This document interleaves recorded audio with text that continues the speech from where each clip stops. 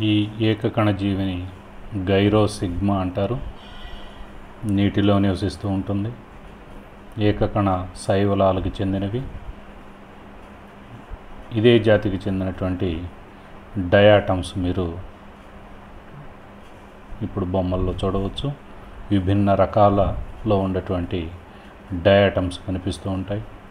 నీరు మనకి ఆకుపచ్చగా కనిపించినప్పుడు చెరువుల్లో మనకి కనిపించేవన్నీ కూడా ఈ డయాటమ్సే. ఇవి ఏకకణ శైవలాలకు చెందినవి.